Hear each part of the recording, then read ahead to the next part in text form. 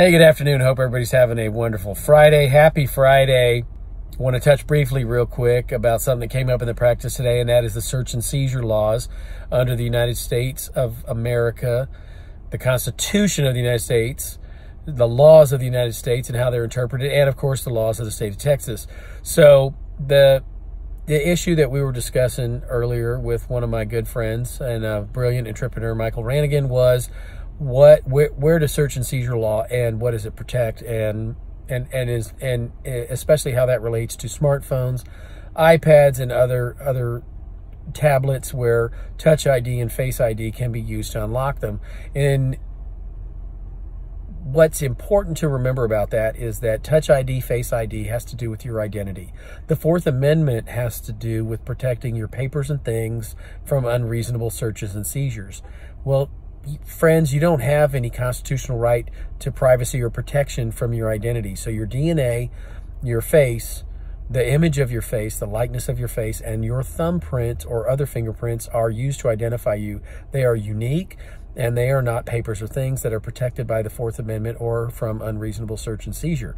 So conceptually, if you've got a tablet that can unlock with your Face ID, or a phone that can unlock with your thumbprint ID, then that is not protected like a password would be protected. A password, six, eight, what have you, digit password is protected. It is considered under at least our current laws, uh, part of the papers and things that are protected from unreasonable searches and seizures under state and federal constitutional law.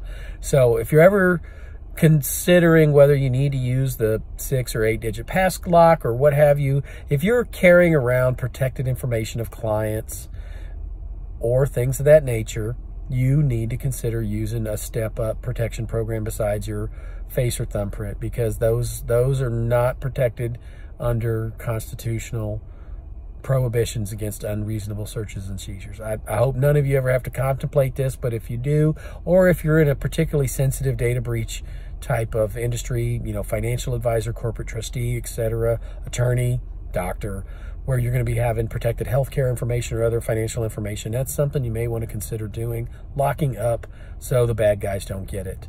And those bad guys are not the government of the United States of America or the deep state. They are the people who are launching cyber attacks against our nation on a daily basis. Anyway, hope this is some, some help. Hope y'all have a wonderful weekend. Happy Friday.